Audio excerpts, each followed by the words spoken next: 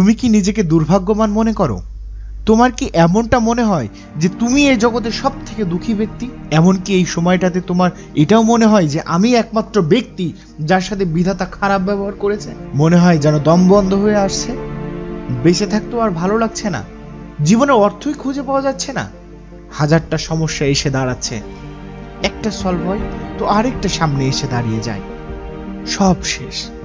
আর কিছুই হবে না। আরে বন্ধু, অনেক ভেবেছো। আর নয়, কারণ আজ এমনই একটা ঘটনা তোমার সাথে শেয়ার করব, যেটা শোনার পরে তুমিও বলবে, আমি কেন পারব না? উনিশশো আটত্রিশ সাল, হাঙ্গেরিয়ান আর্মির এক মহান ব্যক্তিত্ব, ক্যারোলি। তিনি যে শুধু আর্মি ছিলেন, তা নয়, সেই দেশের সমস্ত পিস্তল অ্যাওয়ার্ড জয়ী সূক্ষ্ম শুটারও ছিলেন তিনি।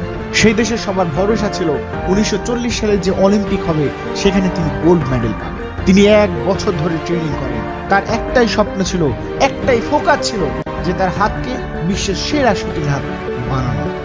এবং অনুশীলনের ফলে তিনি তার হাতকে বেস্ট বানিয়ে ফেলেন। কিন্তু হঠাৎই একটা দুর্ঘটনা ঘটে যায়।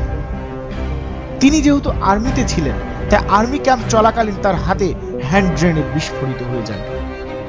তার ডান হাত নষ্ট হয়ে যায়। যে হাতে তার গোল্ড মেডেল জেতার কথা ছিল, তার স্বপ্ন, তার ফোকাস সব শেষ হয়ে গেল। কিন্তু তিনি আফসোস করে সময় নষ্ট করেনি।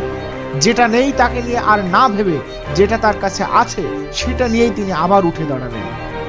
তার কাছে কি ছিল? তার কাছে একটা বা হাত ছিল। যেটা দিয়ে সে ঠিকভাবে লিখতে পর্যন্ত পারত না। ডান হাতের জন্য এক মাস ধরে চিকিৎসা সেবা গ্রহণ করেন তিনি। এবং ঠিক তার এক মাস পরেই আবার ট্রেনিং শুরু করেন। বা হাত। ট্রেনিং এর এক বছর পরে উনিশশো উনচল্লিশ সালে তিনি যোগ দেন ন্যাশনাল পিস্তল শুটিং কম্পিটিশনে। ডান হাত দিয়ে সম্পন্ন করা প্রত্যেকটি প্রতিযোগীকে হারিয়ে তিনি বাঁ হাতের মাধ্যমে ন্যাশনাল চ্যাম্পিয়ন হন। তিনি এখানেই থেমে থাকেননি।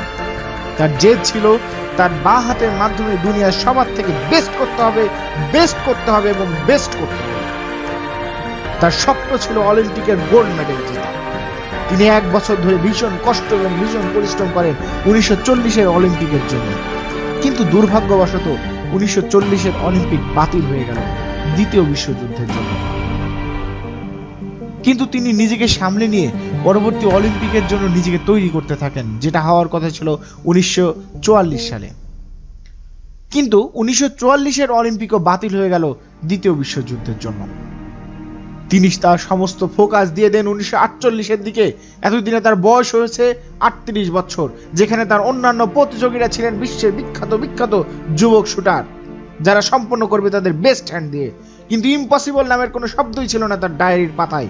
তাই সবাইকে হারিয়ে অলিম্পিকে গোল্ড মেডেল জিতে নেন the man of only hand Caroline কিন্তু তাও তিনি থেমেছিলেন না।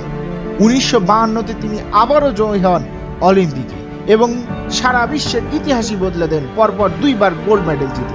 কারণ এই প্রতিযোগিতায় এর আগে কেউ পরপর দুইবার গোল্ড মেডেল জেতেনি। তুমি কোনো লুজারের কাছে চলে যাও? লিস্ট পেয়ে যাবে অজুহাতের আর বাহানার যে আমি এই জন্য ফেল হয়েছি, আমি এই জন্য কিছু করতে পারিনি, আমার জীবনে অনেক সমস্যা ছিল, অন্যদিকে তুমি উইনারের কাছে চলে যাও? তার কাছে হাজারটা কারণ ছিল, তার স্বপ্নকে বাস্তব না করার। কিন্তু একটা কারণ ছিল সেটা করার, আর সে সেটা করে দেখিয়েছে। তাই তুমি যাকে দুর্ভাগ্য বলছো না, সেটা আসলে মনের দুর্বলতা।